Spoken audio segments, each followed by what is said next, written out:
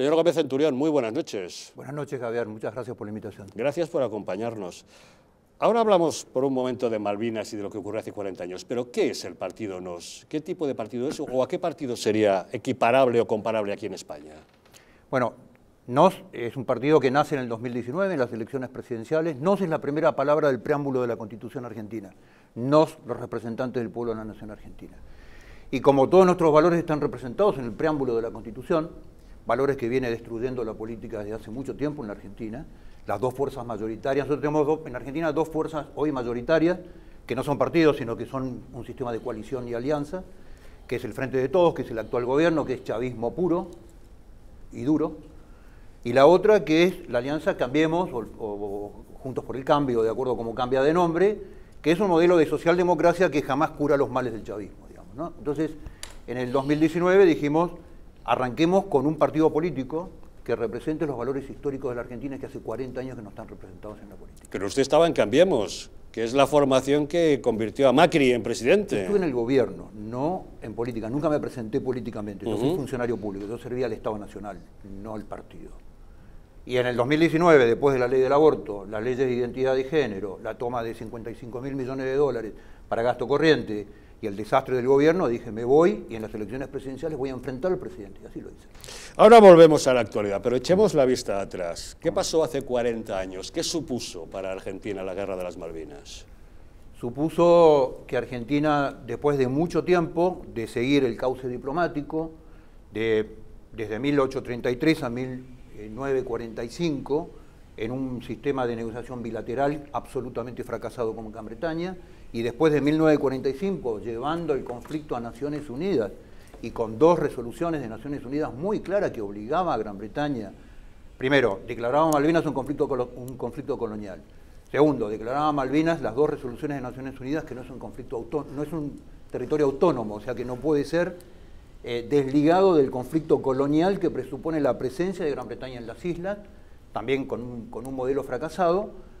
Eh, un año y medio antes de llegar, eh, Inglaterra en Naciones Unidas impuso una, vieja doctrina que es la doctrina Eden. Eden fue un viejo político británico, primer ministro, ministro de Relaciones Exteriores y primer representante de Gran Bretaña en Naciones Unidas allá en 1945. el sistema de Naciones Unidas, de alguna manera, es la consecuencia del modelo de Yalta, donde Gran Bretaña es parte de los que ganan la Segunda Guerra Mundial y pierden el imperio. ¿no? Esto es. Entonces a Eden le toca, de alguna manera, desde su gestión diplomática, tratar de paliar esta, este nuevo modelo de Yalta que le imponía a Gran Bretaña descolonizar todos los o la mayoría de los territorios eh, extra, extracontinentales que tenía Gran Bretaña. Y Malvinas entraba dentro de esto. La doctrina de Eden lo que decía es que había un proceso de eh, prescripción posesiva, que si en determinado tiempo, lapso de tiempo, aquellos que reclamaban un territorio como propio frente a Gran Bretaña no tenían un reclamo efectivo, le hace efectivo, ¿cuál?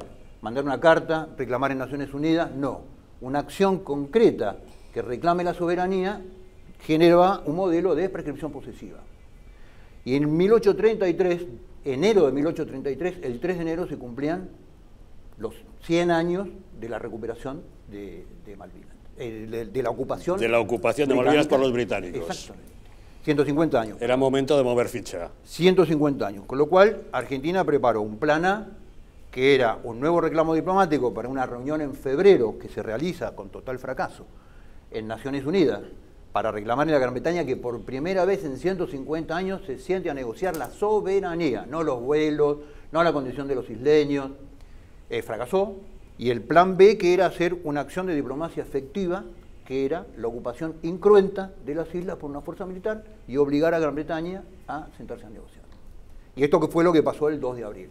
Con lo cual el 2 de abril en Argentina fue una fiesta porque era 150 años de usurpación, porque además Malvinas pertenece a Argentina por situación geográfica, eh, por situación histórica y por herencia de España. Y las herencias uno tiene la obligación de cuidarlas y de proyectarlas en el tiempo.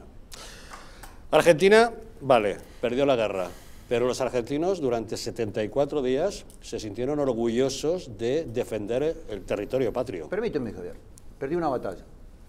Bien. No, no, no. Perdió... Esa batalla que ocurrió hace 40 años. Perdió esta batalla. Ahora, La historia demuestra que los grandes estadistas y los grandes políticos de la Tierra han convertido batallas derrotadas en grandes victorias. La tiene eh, Galípoli en la Primera Guerra Mundial, Dunkerque en la Segunda Guerra Mundial.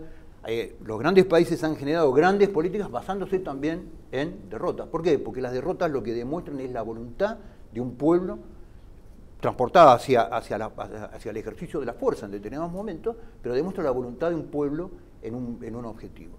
Y en Malvinas lo que se perdió en junio de 1982 fue una batalla. Y lo que la política posterior a los últimos 40 años lo que hizo fue intentar desmalvinizar a Argentina en lugar de pararse en el esfuerzo de los 649 héroes muertos, de madres que entregaron sus hijos, de soldados argentinos orgullosos que dieron su vida por la patria. De acuerdo. Dejémoslo en que fue una batalla, que por tanto esa pugna no ha finalizado. Pero Javier, no va a finalizar mientras haya un argentino que sienta que las Malvinas son argentinas. Pero lo que sí parece que está desapareciendo con el paso de los años es la reivindicación patria en, muchas naciones, en muchos estados, en muchos dirigentes políticos. ¿Por qué ya no se defiende la soberanía nacional sobre los territorios? Bueno, el, modelo globalista lo que va generando son modelos de toma de decisiones transnacionales haciéndole perder a los estados, a los estados-nación. El estado-nación es una, es una configuración territorial, jurídica, histórica, cultural, política, que tiene que ver con lo que la gente cree, piensa, sus tradiciones, sus creencias, sus costumbres, un territorio, frontera, legislación hacia adentro de la frontera, y esto, este fenómeno de la globalización, de organismos transnacionales que toman decisiones hechas por funcionarios que nadie vota, que nadie conoce, donde no se sabe dónde se generan las decisiones, donde no se sabe quién es el tío en algún lugar de un organismo de la Organización Mundial de la Salud que toma una decisión y la tenemos que cumplir todos, sacarnos el barbijo, ponernos el barbijo. Detrás de esto ha hecho eh, perder el perfil de la vieja estructura del Estado Nacional. Y sin Estado Nacional no hay ciudadano. El ciudadano es un producto, es una consecuencia del modelo jurídico del Estado-Nación. Entonces, todos aquellos, yo siempre les digo a todos aquellos libertarios que hay en mi país, que por un lado protegen la libertad del individuo, por otro lado dicen terminemos con el Estado, le digo, si vos terminás con el Estado, terminás con el ciudadano y terminás con la libertad del ciudadano. En España estamos sufriendo esa sensación de falta de defensa de nuestra unidad nacional. Tenemos un gobierno que hace excesivas concesiones a los separatistas de Cataluña, a los nacionalistas del País Vasco, que acaba de entregar el Sáhara a Marruecos olvidando una antigua, eh, una, antigua obligación española sobre el pueblo saharaui, que tenemos el temor de que Marruecos en cualquier momento pueda reclamar plazas históricamente españolas como son Ceuta y Melilla y con la constante amenaza las Islas Canarias. De ahí que esto nos preocupe tanto eso que estábamos hablando, esa pérdida de reivindicación de soberanía nacional, de territorio patrio que parece estarse generalizando en mucha clase política. Bueno, en Argentina tenemos el ejemplo concreto del gobierno nacional y toda la clase política que considera que en el sur argentino, en la Patagonia, la toma de tierra por parte de este nuevo modelo indigenista mapuche, que no son originarios de Argentina, sino de Chile, eh, constituye un tema de propiedad privada que lo tienen que resolver los jueces en el marco del derecho, del derecho civil, cuando es un tema específicamente de soberanía. Eh, las organizaciones mapuche, el RAM, la Reivindicación Ancestral Mapuche, es una organización creada en Chile, en un estudio jurídico de paz en Chile, con cuatro funcionarios ingleses adentro de su secretariado, que lo primero que dice es desconoce la, soberanía del, del Estado argentino sobre el territorio que ellos reclaman. Y es un tema de soberanía, no es un tema de derecho privado. También nos preocupa en España que traten de alterar nuestra historia. En este país tenemos una ley llamada de memoria histórica que pretende reivindicar un pasado que no necesariamente fue como fue o proteger a unas víctimas siempre y cuando sean solamente de un bando pero no de otro. ¿Pasa algo similar en Argentina? No, creo que nosotros les enseñamos a ustedes cómo se hace. creo que los maestros en ese proceso hemos sido nosotros. En Argentina se instaló después del 83 un relato sobre un proceso histórico de la Argentina, donde eh, los integrantes de las organizaciones terroristas, Montoneros y ERP, fundamentalmente que eran las dos más grandes, que formaban parte de una estrategia cubana que agredieron a la sociedad argentina y agredieron al Estado argentino para la toma del poder, eran jóvenes idealistas que fueron atacados por militares malos. Y hasta un, un, tema que en, en, Argentina ya es muy gracioso, el relato de los 30.000 desaparecidos hoy, al 24 de marzo, que es el aniversario del golpe militar, todavía el discurso oficial habla de los 30.000 desaparecidos cuando los propios decretos de, por ejemplo, Cristina Kirchner cuando, cuando era presidente, o Néstor Kirchner cuando era presidente, hablan de 7.200 desaparecidos. Y todavía siguen insistiendo, son 30.000. Entonces yo le digo, miren, es imposible que un pueblo avance hacia el futuro si no se para en su verdad histórica. Y les pongo el ejemplo de Mandela. Mandela cuando toma la presidencia después de un proceso de persecución personal, en un proceso además muy complejo porque tenía antecedentes culturales, raciales, apartheid y demás, cuando es presidente de Sudáfrica, le van a proponer que empiece con los juicios hacia los sudafricanos blancos.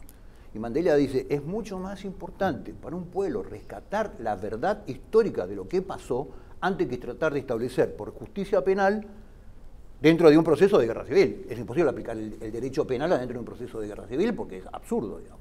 Instaura los juicios por la verdad. En los juicios por la verdad, de uno y otro bando iban a la justicia, declaraban qué es lo que hubiesen hecho y quedaban absolutamente liberados. Ahora, si había algo que no habían declarado, iban a ser sentenciados y iban a ser procesados por ese tema. Y Mandela en cuatro años unificó Sudáfrica y la lanzó al mundo. En España, el propio gobierno de Pedro Sánchez está tratando de blanquear el pasado criminal de ETA. ¿Algo similar a lo que nos comentaba usted con los montoneros en Argentina? Bueno, lo de Argentina ya no es, no es, no es blanqueo, es convertirlos en héroes, digamos. ¿no? Bueno, aquí vamos camino también. ¿eh? Ah, bueno, bueno. No, sí, con un poco de tiempo van a llegar. Denos, tiempo, denos tiempo. Pero le falta tiempo todavía. No, lo de Argentina fue vulnerar la verdad histórica de un país y formar a la juventud y hacer una bajada de línea ideológica en la escuela primaria y secundaria con un relato ficticio es un típico mecanismo de eh, la política autoritaria. El último rango del autoritarismo es querer manejar el pasado, cosa que no se puede manejar, porque el pasado es una evidencia histórica, digamos, que tiene historiografía, que es una ciencia, digamos, que tiene datos y concretos, y, y bueno, esto es lo que ha pasado en Argentina. Por cierto, debemos decirles que justamente hoy el Parlamento Europeo le ha pedido a España que los crímenes de ETA no prescriban y que cualquier tipo de beneficio penitenciario a los etarras esté vinculado a su colaboración con la policía para el esclarecimiento de los crímenes todavía no resueltos. Algo que ayer el Partido Socialista trató de evitar a través de una enmienda en el Senado, pero que hoy el Parlamento Europeo ha aprobado, para que vea cómo, cómo de complicado es perseguir a los criminales en algunos países. Muy complejo. Eh, perseguir a los delincuentes en cualquier país del mundo se está, transformando en complejo. Hablemos de sus eh, propuestas políticas. Usted propone incentivar a las empresas para que contraten trabajadores que están recibiendo algún tipo de subsidio. ¿Eso no puede ir en contra o perjudicar a aquellos otros trabajadores que optan al mercado laboral sin venir desde las subvenciones? No, bueno, eh, lo que pasa es que yo escuchaba la discusión y el debate de ustedes y era muy interesante, porque ustedes hablaban de un debate entre el estado de bienestar y los impuestos en una situación que abarca el 100% de la situación de los españoles. En Argentina el 50% de los argentinos son rehenes de un plano de un subsidio del Estado. O sea, son personas que no pueden definir su propio destino a través de su esfuerzo personal, de su capacidad, de su preparación, de absolutamente nada. Son esclavos y rehenes de un burócrata que les fija cuándo son pobres y cuándo dejan de ser pobres, de acuerdo a una pauta estadística. Con lo cual, la única solución que tiene Argentina para enfrentar su futuro es poner, es darle on a la Argentina, poner la Argentina a funcionar. ¿Y esto qué significa? Activar el sistema productivo para que el sistema productivo genere empleo el empleo es la única forma genuina de una persona de poder proyectar su vida y poder diseñar su propia vida. El, empleo es salario, el salario es previsión social, el salario es consumo, es mayor nivel de producción. Pero esto es tan grave en la Argentina que en la Argentina no es que hay desempleados. El nivel de, desempleados, porque la estadística argentina toma a aquel que cobra un salario, una pauta, un subsidio por parte del Estado como una persona empleada por más que no trabaja, lo considera un trabajador, cosa que ya es un embuste, es una mentira absoluta, digamos. Con lo cual la solución es, la carga del sistema laboral argentino es un tema muy viejo, eh, que fue hecho en la década del 40, para custodiar el pleno empleo. La ley laboral argentina tiene su origen en un modelo que era la forma de cuidar el pleno empleo. Argentina no es que no solamente no tiene pleno empleo, sino que el empleo negro llega al 38%. Con lo cual necesita una, transformación. Cuando vos, cuando tú pagas 100 pesos de salario, ¿no? Por un salario, la carga total es 158 pesos. O sea, tienes más de un 58% del valor del salario en toda una escala de tributación. Entonces, lo que nosotros decimos, si las pymes, que son las generadoras del 67-68% de la mano de obra ocupada, vos le dices, bueno, si contratás a una persona que hoy cobra un subsidio del Estado por no trabajar, le decís por cinco años no paga carga tributaria, es preferible que, subsidies, eh, todo el sistema previsional antes que pague a una persona que no está trabajando y que no tiene la más mínima posibilidad de desarrollo. Y esta es la forma, digamos, de generar un ciclo virtuoso en la economía, que Argentina tiene un ciclo vicioso desde hace 30 años. Cada vez menos producción, menos exportaciones, menos empleo y menos trabajo. Hablando de propuestas políticas, en este mundo cada vez más globalizado, ¿qué opinión le merece la Agenda 2030? Bueno, yo soy el único político argentino que he sido capaz de denunciar la Agenda 2030, con lo cual me han sacado de los medios, digamos, en forma inmediata. La Agenda 2030 eh, para la Argentina es la peor forma de insertarse en el esquema internacional. Es una agenda que está destruyendo culturalmente la Argentina, la está destruyendo desde el punto de vista productivo, la está destruyendo desde el punto de vista económico y el punto de vista financiero. Con lo cual, mi propuesta en términos de relaciones exteriores es que hoy el mundo, por más que sea global, es un mundo que cada vez es más multipolar, ¿no? En esta confrontación comercial de, China con los Estados Unidos y, la Unión Europea, es un mundo que da cada vez más oportunidades a un país como Argentina para ejercer un modelo de relaciones internacionales bilaterales y recíprocas con una cantidad de países en términos de intercambio. ¿Quién la está dictando y desde dónde? La Agenda 2030, eh, todos sabemos que tiene un foro de expresión que, es el foro de Davos, digamos, donde van los multimillonarios que nos cuentan que vamos a ser felices sin tener nada, que vamos a comer carne sintética, a los argentinos nos dicen que vamos a comer carne sintética, que, lo cual es bastante, es bastante curioso, digamos. Eh, pero, digamos, son un grupo de millonarios que han alineado una cantidad de intereses cuyo foco de inversión es China, eh, y en esto yo quiero ser enfático, el peligro del mundo es China, ¿no? Hoy lo vemos a Putin, Putin tiene una política de, agresividad dentro de, lo que él considera el mundo eslavo, digamos, que es toda una temática.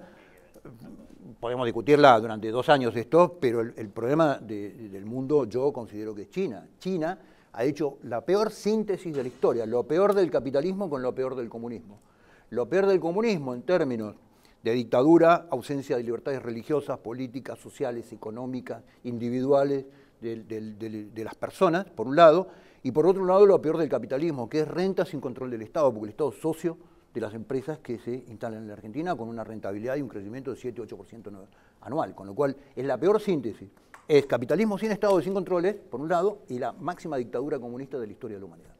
Y esta síntesis es el foco de inversión de los grandes millonarios de la Tierra que dicen, hay una nueva división internacional del trabajo donde los argentinos nos dicen, ustedes vivan de la soja, a los venezolanos les dicen, ustedes no más combustible, petróleo pesado crudo, para que lo refinen en otro lado.